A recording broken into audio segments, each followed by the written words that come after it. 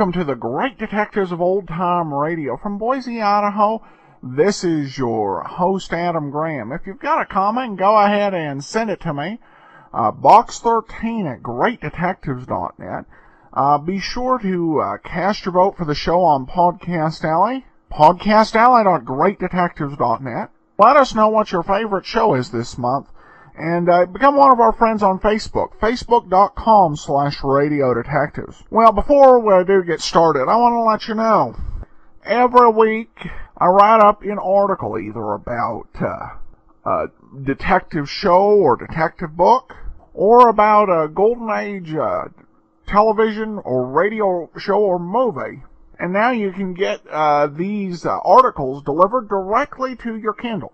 You can uh, just put uh, Great Detectives of Old Time Radio in your search on Amazon, and you can try out uh, service free for 14 days. Go to your uh, Amazon Kindle and subscribe today. Well, we're going to get into today's episode of Let George Do It. No riders. Personal notice, danger's my stock and trade. If the job's too tough for you to handle, you got a job for me, George Valentine. Write full details.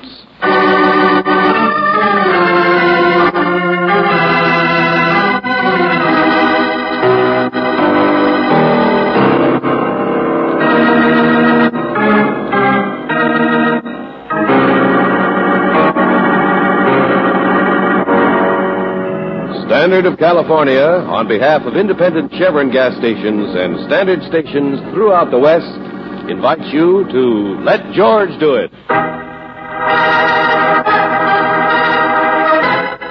No Riders, another adventure of George Valentine.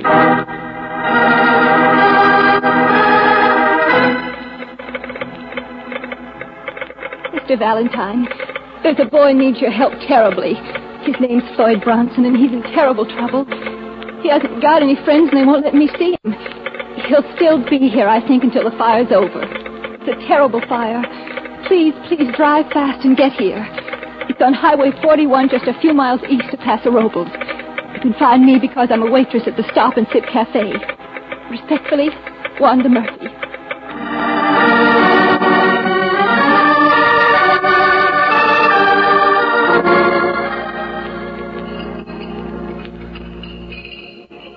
Mudface, where's the coffee? I'm fixing it as fast as I can. Oh, Mr. Valentine. Hey, hey, hey, what's this? I'm, I'm so tired. Everybody's tired. Well, Wanda, can't you sit down? Oh, I've been on alone since six last night. That's when he was here eating supper. Tommy Tucker, I mean. One that died. The what? He's a truck driver for a San Francisco fur company and Hey, Mudface, what's this about Tommy? Oh, ask one of the men down the counter, Mr. Evans. They know more than I do. Oh, okay. Salesman, that's all. So, because Mabel's not here. She's good looking. yeah, we'll skip it. Now, look, Wanda, I know you're groggy, but in words of one syllable, what's it all about? Yes, and you said something about a fire. We saw carloads of men on the highway. But... Well, that's what I've been doing, feeding all those men. You see, Mr. Valentine, last night a truck went over the grade 11 or 12 miles east of here towards Bakersfield. Went out of control and driver was killed. Uh-huh. That's Tommy Tucker. And the fire was from the wreck, is that it? Truck caught the grass on fire? Brush and scrub timber, yes. But they were afraid it would spread. They're only just now getting it out. Okay, I follow you that far, only... Hey, boy, what do you think of that old timid Tommy, huh, Mudface? Say, how long's he been on this run, anyway? Oh, oh, George, give me a nickel. Yeah, here. Did you hear me, Wanda? I said, how long's he been on this run, anyway? Thanks, Sideshow. That's much better. All right, Wanda. There was a wreck and fire. But you wanted us here for something else, didn't you? Something like a boy in terrible trouble? Floyd Bronson. Okay, let's hear it. He's. oh, well, I don't know what it is exactly, but. Well, I, I just met Floyd yesterday, Mr. Valentine. Yeah, go on. Well, he was just going through, but I had the afternoon off, and I was sitting here playing records when he stopped by. He sort of talked, and I talked, and I guess we talked nearly all afternoon. Salesmen and truck drivers don't pay, pay much attention to him except to kid about the food. He was, well, he was different. He liked you, and you liked him. Oh, yes, yes, it's very mutual. I mean, well, he, he said he'd write to me. He hasn't got a family like I don't either. But he's expecting a very good job down in Bakersfield, and Anyway. Floyd isn't working now, huh? No, but he's really expecting... I meant uh, yesterday he was going through hitchhiking, right? Yes.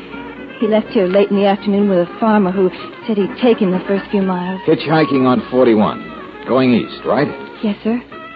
The same way as the truck that was wrecked later on. What happened, Wanda? Oh, I don't know. But the first we saw of anything was a highway patrol car coming back here. And inside was Floyd. And they locked him up in that auto court across the highway by the woods. But if Floyd's under arrest, what's it for? Well, he hasn't got any friends or anybody to help. I, I, I told you I don't know All what. right, all right, Wanda. I'll find out for myself. But in the meantime, do something, will you? All right, sir. What is it, sir? well, I was going to say pour yourself a cup of your own coffee, but hey, look, uh, after this, call me George, huh?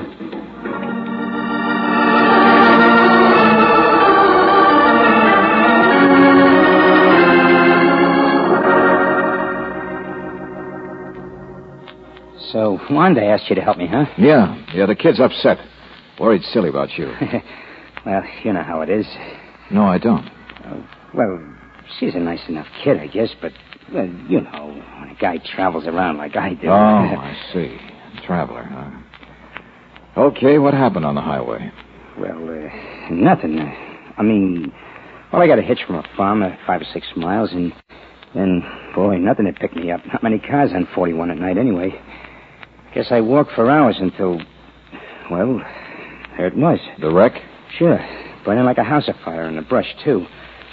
I was just wondering where I could get help when. Yeah, when a cop's car came along and you ran. Oh, but just to get out of the way, they're coming fast, and, well. Uh-huh. Well, really, Mr. Valentine, that's what happened. That's what happened. Well, Wanda was sure right about one thing, Floyd. If ever a guy needs help, you're it.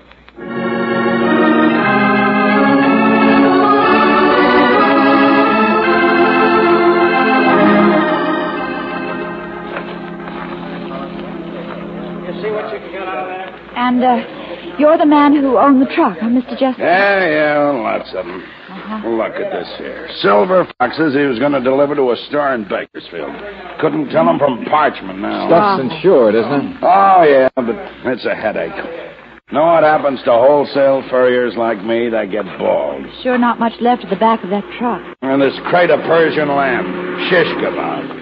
And the box of chinchilla looks like burned cigar butts. Okay, okay, so you've had bad luck. But Mr. Chester... Oh, Valentine, I'm not complaining just for fun. It's because I've been up all night driving to get her and to see what could be saved. Well, the driver, Mr. Valentine, Tommy Tucker, nicest boy I ever had working for me. I, I liked him. Yeah, I understand. So, there's anything funny about this, if it's not just a case of Tommy's clutch or brakes giving out on the grade, well, what about that kid they picked up? You know as much as I do, or the police so far. Mr. Justin, has anyone ever tried to rob one of your trucks? I mean, on such an out-of-the-way road, it could... No, no, this is not a movie, Miss Brooks.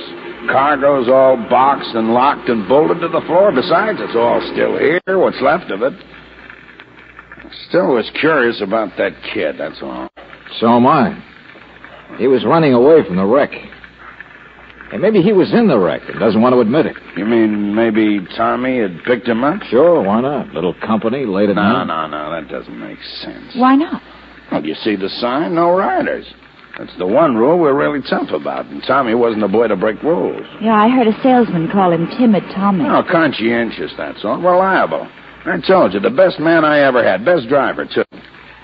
That's what bothers me. Yeah. Say, uh, what did they find up here in the cab of the truck? Ashes, mostly, see? His flashlight was here in the seat. Uh-huh. Truck's out of gear, huh? Yeah.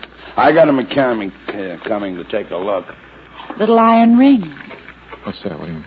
Two little iron rings about an inch in diameter. On the shelf up here, back of the seat, see? Yeah, I saw those, Miss Brooks, and for the life of me, I can't Fire's fig- pretty well under control now, but I sent Tucker's body off to Paso Robles. Oh, thanks, McGee. Two facts bother me, Valentine. Yeah? Number one, we couldn't find any jacket any place for the driver, Tucker. Not even a zipper. But in the fire, it might have burned. And anyway, maybe he didn't have one. The cab of a truck is heated, isn't it? Well, I know it doesn't mean much. But finding a wallet does. Hmm? A wallet? That's right. A firefighter just phoned from several miles down the road. Says come take a look at something he picked up there. Tucker's wallet.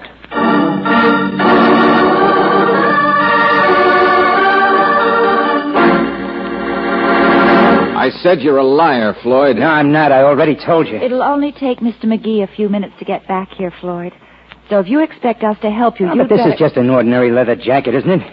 You can buy them like this by the millions at Army Navy stores. You can steal them off bodies, too. No, I didn't. I told you I didn't. I said steal them off bodies. No, no, it wasn't even on him. It wasn't. Oh, is that so? Well, well, anyway, I didn't steal it. It was lying there in the ground, thrown from the cab like he was. And, well, I was cold, and I knew I'd have a long way to go for help, and well, so I took it. This was when you just happened by the scene of an accident. Well, sure. And when you looked to see if the driver was dead, you looked in his pocket for his wallet. It was in the jacket, Mr. Valentine. Honest, it was. I didn't realize it until after the cops had picked me up. And I knew I'd be in worse trouble, so when they weren't looking, I, I threw it out the window of their car. That would explain how it was found down on the road. but I- uh, when you hitchhike, do you carry a rucksack? What? I know you haven't got one now, but uh, you see these little iron rings? Well, they're what hold the straps of a rucksack. The rest of it was burned, I suppose. Inside the cab of the truck. Oh, well, Mr. Now, for the last time, will you tell me the truth? Well, well, what really happened. Never was- mind that phony preamble. Well, all right. Uh, I I was walking down the road, see, and nobody picked me up, and I was worn out. So finally, I stood in the middle of the road. Then uh, a sedan came along, didn't even see me. I had to dive for the ditch. It hurt my ankle, and I was still lying there when the flood truck came along. And it stopped. Sure. Driver thought I'd been hurt in an accident. He helped tape up my ankle. He did. Here, see it? Only, then he was such a conscientious jerk, he wouldn't let me ride. Said if anybody was seen in his cab, he'd be fired. It was the rules. Well, I, I pretended I was sicker than I was, and he finally opened the back of the truck where I couldn't be seen. Said he'd dump me out before he got to Bakersfield. Then what happened? Well, uh, well, well, I, I was so tired, I, I fell asleep, and next thing I knew, uh, there'd been this accident. It broke the whole rear end. You saw how. Well, I was awful afraid for a second, and the fire was burning around me, and well, you know all the rest. Yeah. Now, even forgetting it's a wild story, what bothers me is why didn't you say all this in the first place? It's like pulling teeth, isn't it? Maybe we'll have to pull out a molar, Valentine. Mr. McGee? Yes, yes, I've been out there listening. Some story, son. Well, it it's what really happened. Is it? I just got a phone call, Valentine. Coroner in Paso Robles says Tommy Tucker was murdered. What? Hit over the head with a heavy instrument sometime before the accident. Instrument appears to be that flashlight we found. Your fingerprints are on it, Floyd.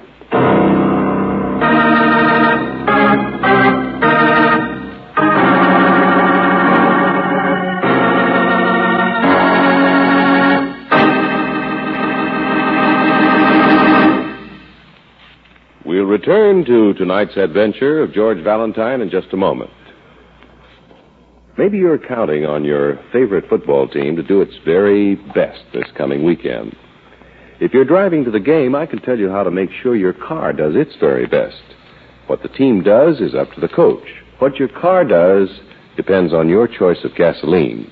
Make it Chevron Supreme gasoline, for here's a premium quality gasoline that's climate tailored, tailored to the season and to each different altitude and temperature zone in the West.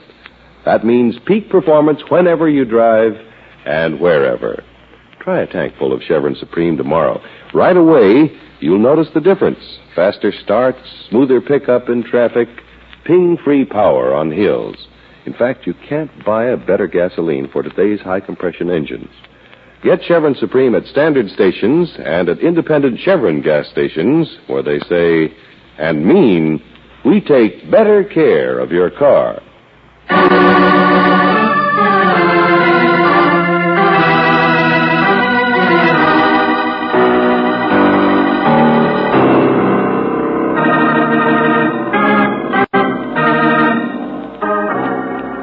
Now back to tonight's adventure of George Valentine.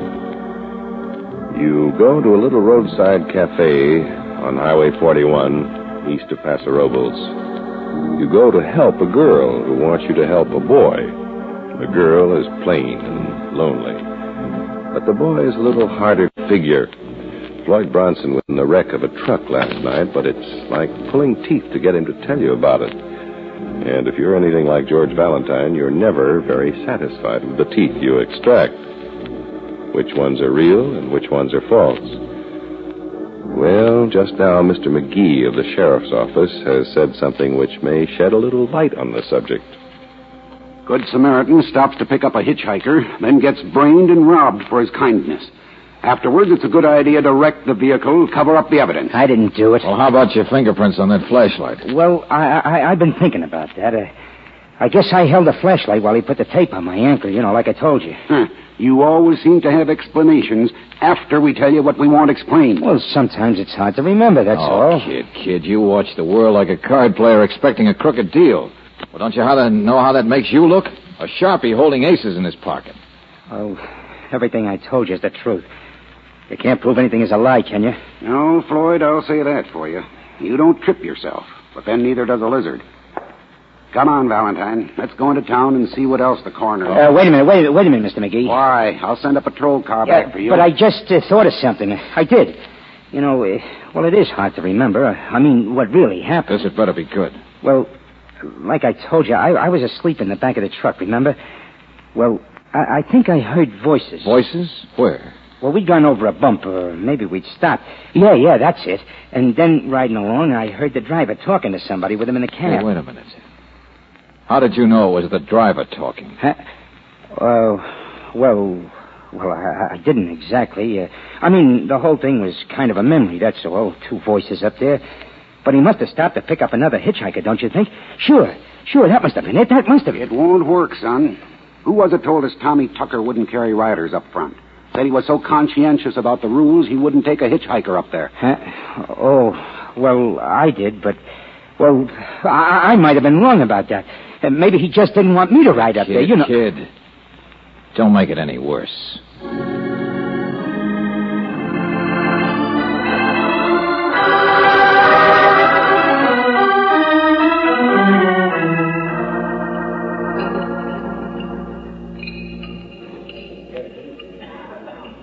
Mr. Valentine, I suppose Tucker might have picked somebody up, but I can't believe it. What about a man riding in the back of the truck, Mr. Justin? Oh, he thought the boy was hurt, and there's no way the load could be bothered. I wouldn't blame a driver for He that. wouldn't have given his mother-in-law a ride to her own funeral. What's that? No, it's a fact. Uh, Evans is my name. Wholesale plumbing. Just been waiting for a chance to help you guys. Yeah, well, look, salesman. Timid Tommy Tucker, that was my name for him. Oh, a real sweet boy, don't misunderstand me, but uh, he swallowed the rule book. you know what I mean? Afraid of the powers that be. Now, look, friend. Wait a minute, George.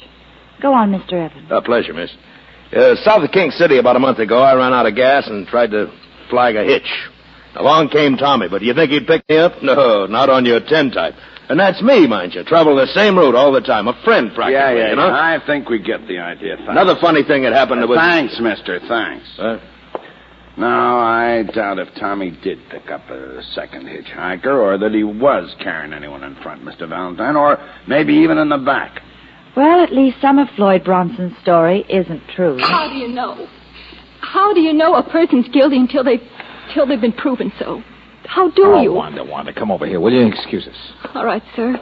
But how Now, do you you? listen to me. I don't get mad at a case just because I don't like the way somebody parts his hair. But that boyfriend of yours can't even look me in the eye. it's only a habit, Mr. Valentine. Is it? You've been standing around watching everything, scared to death Floyd would get himself in deeper and deeper. It's just that. Oh well, I, I knew he'd act that way.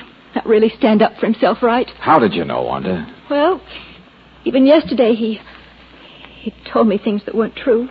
What things? Oh, just just little things about jobs he'd had and was going to get, important people he knew, places he'd been. Sure, sure. Little boy with a big line. Oh, kid, what you see in a guy like that is beyond me. Oh, Mr. Valentine, he doesn't mean to tell things. And gosh, nobody can be perfect. Only. Only, I don't even think Floyd Bronson's his name. You... Holy sister, why didn't you say? Oh, I'm so tired now. I'm not sure, but. Well, he gave me an address I could write to him later on. He wrote it on an old envelope. Only. Well, there was a place where he'd scratched a name out, and it, it was sort of like his. It was Mickey Floyd. Mickey Floyd, huh? Here.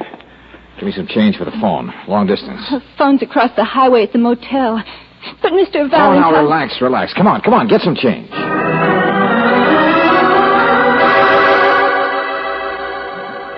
Yeah.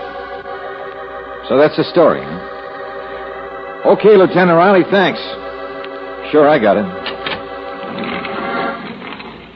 Well, George, what they say in the city?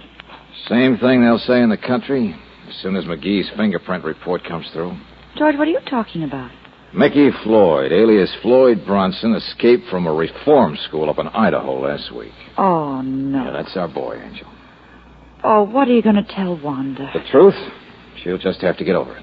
Well, George, at least it explains the way Floyd's been acting. He was just trying to hide who he is. Uh-uh. Think again. Hmm? Which would you rather have happen? Be caught and sent back to reform school, or let yourself be thrown in jail for murder? No, Brooksy, there's something else. We... Hey, come on. What's that? What the... Hey, Evans. Evans, what's happened? Oh, brother, I don't know. Somebody said the kid broke up. Huh? Patrol car came to pick him up, but they found the cabin open and the guard knocked out. Yeah, sure, listen to that. He must have headed up through the woods. Come on. No, no, we'll meet you. Go ahead. Brooksy, if he's running up there, there's nothing we can do. But if Floyd's really got a bad ankle, then he'd more likely head down the other way, wouldn't he? To make a getaway? What do you mean, George? I mean, I ought to have my head examined. I left the keys of my car back in the highway. So long, Angel.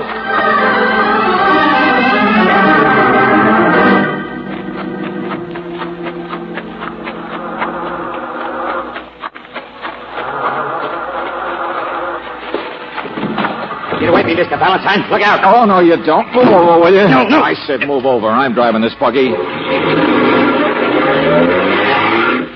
I, I wasn't going to steal your car. Oh, no, just borrow it. Say, whose car is that? That sedan? How should I know? Well, well, what are you doing? I just wanted time to tell you how crazy you are, Buster. Out of the frying pan into the fire. Run, run, run. That's all you think of. Okay, well, for my money, you're guilty. But I'm not. I didn't kill anybody. Yeah, you said that. Now, come on, describe the inside of that fur truck for me again. Huh? Come on, come on, the back end of the truck. Oh, well, well, it was pretty dark and I was sleepy, but well, there was a big box had Silver Fox on it, and I laid down next to a big bolted crate said Chinchilla. The bolts kept banging me. You're gonna stick with that hogwash? Hogwash. But it's true. It's what happened. Why did you slug that guard? Listen, they're coming after I us. said, why did you slug that guard just now to get away? What guard? Oh, cut it out. The guard that was Uh, there. He wasn't there. I, I mean, uh, I didn't see him. I, I just found the door was open. I knew I had to get away before they put me in jail where I could. Listen, they're closer. Malarkey, isn't it? It's all malarkey. You're not slugging the guard. But I didn't. You gonna stick with that stuff? Mr. Valentine. With all of it? Are you? You're liable to start shooting. Drive faster, faster. Now, you listen to me. Are you gonna stand on your feet for once? Look a cop in the eye and say that stuff and make him believe it because you believe it? Mr. Valentine, I'm a little guy. I'm all alone. There's nobody that I can. Look out! They're right behind you. What are you doing? Just take it easy, kid. We're not gonna be hurt. But Yeah, yeah, that's right. I said we. Because I'm right here with you, Floyd. And I believe you. Everything you've said.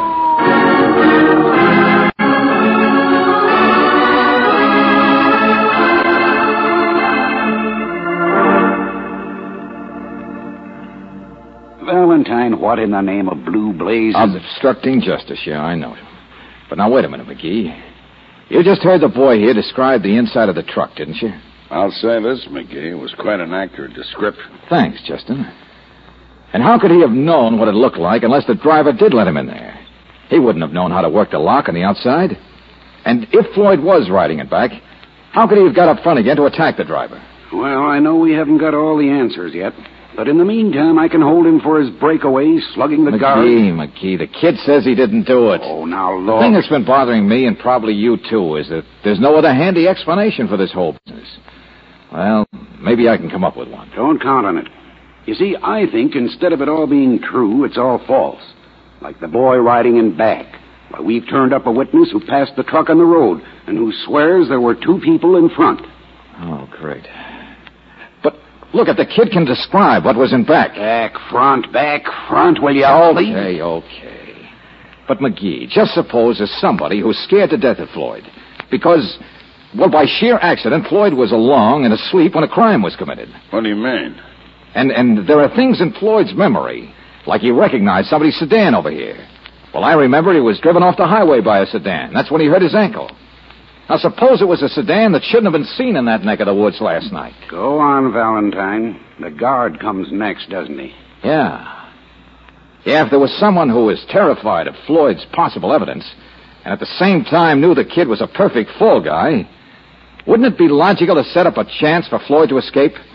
The crazy kid would be bound to keep running until he'd be stopped someplace by a bullet. And then there'd never be any question of an alternate explanation. No more dangerous investigation. Well, there are lots of holes in a story like that. I'm afraid so, Mr. Valentine. And if my theory is right, Mr. Justin, then even the business of front and back fits into place. The kid said he was asleep in back and heard voices. Okay, McGee. You got a witness says there was somebody up front.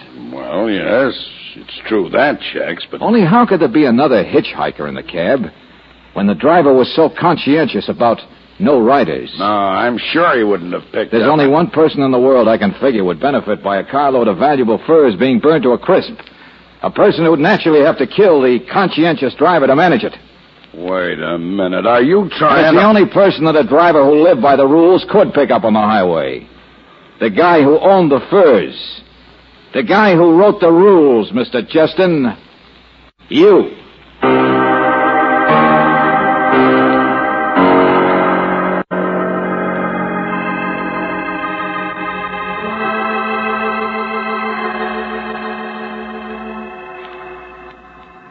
Insurance, Mr. Valentine? Well, I, I don't understand. Yeah, sure, Wanda. Insurance on the furs. Why, there was even chinchilla in that load. Maybe some of them weren't even the real thing to begin with. And the insurance company would never know. Justin would just hold out his hand to get a nice fat check, which apparently he needed to keep his company going. And it was Mr. Justin who met the truck out there on 41. Mhm, Sure. Probably pretended he had a flat tire or something. Only poor Tommy Tucker. It's all going to be made to look like an accident, wasn't it? That's right, and it would have, if it hadn't been for your stumbling Romeo wandering into it. The police found enough evidence to make Justin confess. Oh, uh, hey, give me a nickel, will you, Angel? Hmm. Here. Here, have some music, Wanda, because this is where we came in. See you later. George? What on earth? Oh, excuse me. Hello. Mr. McGee said I could come in for a few minutes and, well, anyway, Uh, before you go back to school, huh? yeah. Well, um, Mudface is in there, Floyd. Huh? Oh, she's a nice enough kid, I guess. Uh, not very attractive, but, well, maybe if you get a chance to travel around again, you'll meet somebody. Now, wait a minute. Who said she's not attractive? What do you mean, mudface? Look, Mr. Valentine, I've stood an awful lot of criticism for you, but when it comes to Hey, Wanda... hey, cool off. Go on, kid, get in there. Oh, George. I wonder if he'll ever really grow up, straighten himself out. Brooksy, I think he's already started.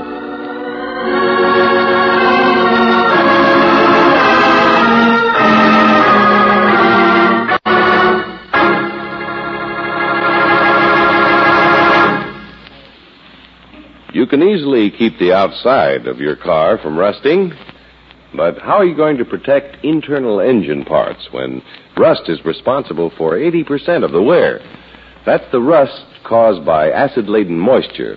This moisture settles on cylinder walls and other vital parts the moment you turn off the ignition. The one sure way to prevent it is to use RPM motor oil. For RPM is compounded to keep a moisture proof film on all parts at all times. Even though your car stood idle for days or weeks, that acid laden moisture could not reach internal parts. Not with RPM on the job. No wonder this motor oil is first choice in the West. It's the oil that stops 80% of engine wear. Rely on RPM to add years to the life of your car and to keep repair bills at a minimum.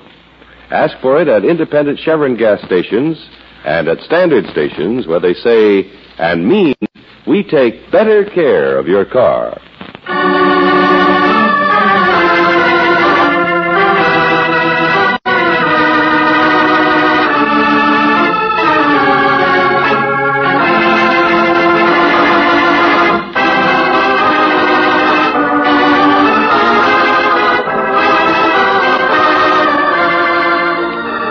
Tonight's adventure of George Valentine has been brought to you by Standard of California on behalf of independent Chevron gas stations and Standard stations throughout the West.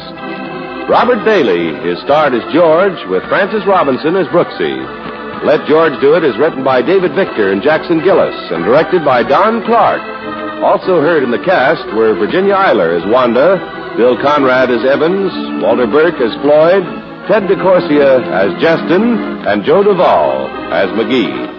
The music is composed and presented by Eddie Dunstedter. Your announcer, John Hiestand. Listen again next week, same time, same station, to Let George Do It.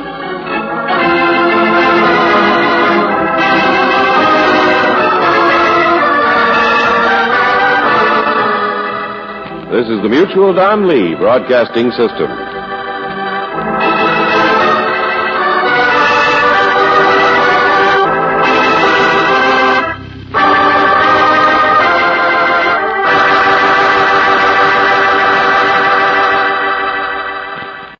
Welcome back.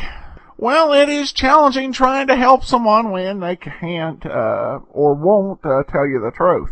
Uh, this episode continued to emphasize me uh, Brooksy's role in this uh, detective partnership. With uh, at one point George tried to shush somebody, and uh, Brooksy told them to continue, which is not the usual practice. But I, I liked it here at work, even though I don't think the guy had much to contribute of uh, value, other than perhaps uh, giving him the depths of the uh, driver's uh, conscientiousness. Well, now we turn to listener comments. Hard to choose just one. They are all great. Right now, it's Johnny Dollar or Let George Do It. That could be because they've been uh, on from the start, so they are kind of like a comfy pair of shoes.